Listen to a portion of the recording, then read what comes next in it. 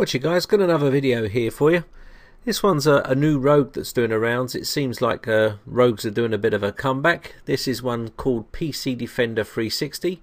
Looks a little bit like Norton, but it is a fake scam uh, bit of software. It's acting to be uh, some sort of antivirus program or security program. And uh, I'm going to be showing you how to remove this from the system. It's very easy to do. Uh, but if you have got this on your system and you're a bit of a novice to computers, then don't worry, it is a scam and uh, don't pay for it, okay? I'm going to show you how to remove it in this video. So the way we're going to remove it is uh, by putting either a registration code in there or you can actually go into safe mode and remove it from there and I'll show you how to do that. Now you can see it does the normal stuff here, pretty much uh, blocks everything as you can see and also when you try to use uh, Internet Explorer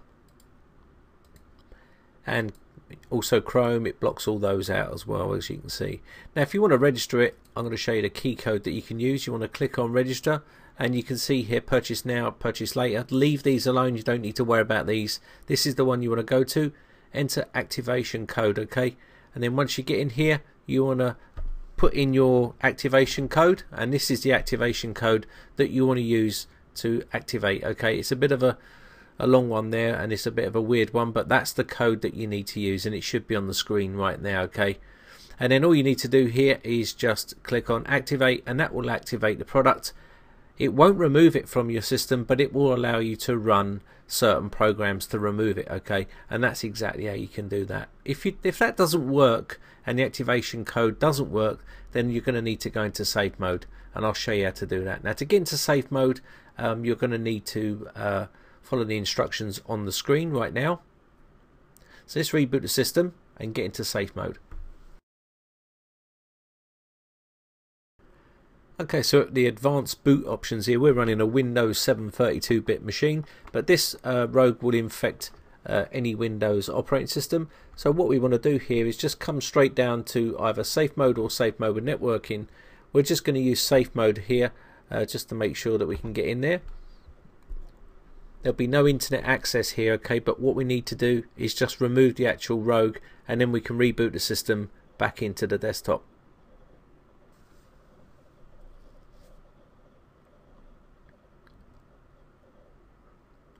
Okay, now we're at the uh, safe mode. I'm just going to close this off here. Now this does damage the actual uh, executable uh, file in the registry so you can't actually run any applications but we'll fix that in a second. But the first thing we want to do is remove this from the system. So we're going to go to start and computer here and we're going to go up to organize and folder and search options here view and show hidden files and folders and drives. And we're going to take the tick out of hide extensions. Click OK here. You can change those back afterwards now once we go inside here you'll see a, a folder that's appeared now called program data. We're going to go into there and there is the actual folder with all the content of that actual rogue in there okay? And that's the one we need to remove from the system okay? So we're going to remove all this stuff from the system. So we're just going to delete the whole folder like so Okay, so what we need to do here now is reboot the system. So let's reboot the system.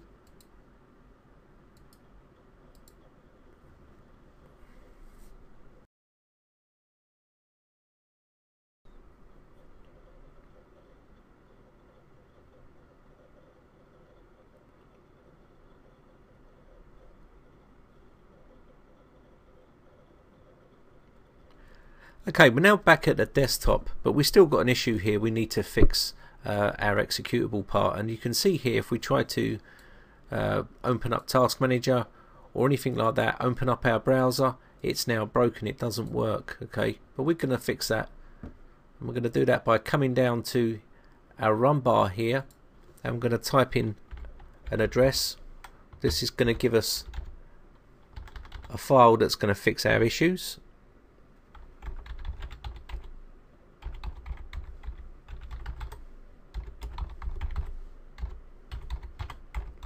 just going to quickly type this out. And I'll just need to do fix exe.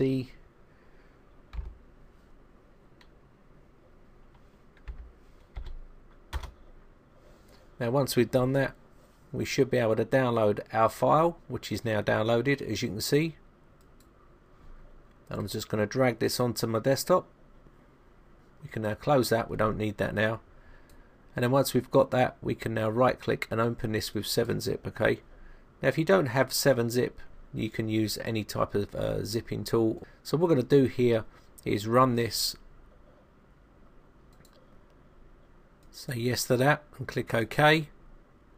And we don't need these anymore so we can get rid of those. And then once we've done that we should be able to click on our programs. As you can see that's all now fixed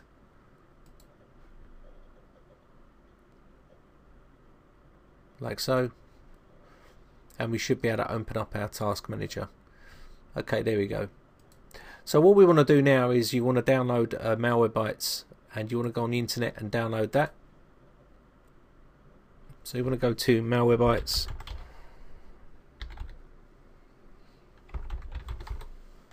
It's a free download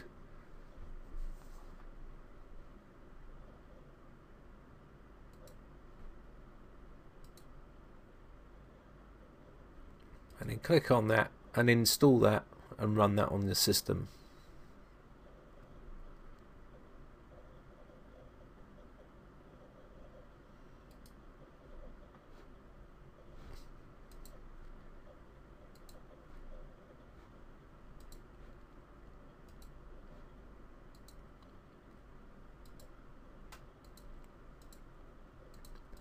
So just go through and install this and once you've done that you can then run some software on the system to remove any remnants that are left behind. Now it shouldn't be too much left on the system but if you want to run this and then Hitman Pro and some other tools you can do all that and watch some of my other videos and that will help you uh, clear up any remnants left behind. So I always check for updates first and then once we've done that we can uh, click on the quick scan and that will run a quick scan on the system Okay, that's the scan nearly finished. So we'll click OK here. And as you can see, we've got a couple of registry keys.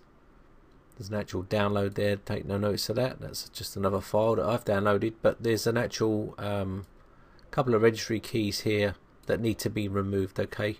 And what we're going to do here is just remove those. Now, it'll probably be just this one you're going to get. This is another uh, infection that I just did just a few seconds ago but this is the one you need to take care of. So we're just going to take care of all those and then restart the system. So that's basically how you can remove a PC Defender 360 from your system. Pretty straightforward and easy to do.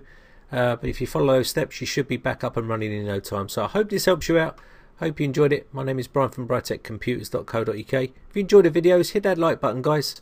And also subscribe to my channel for any latest videos that I upload and you'll keep up to date with those.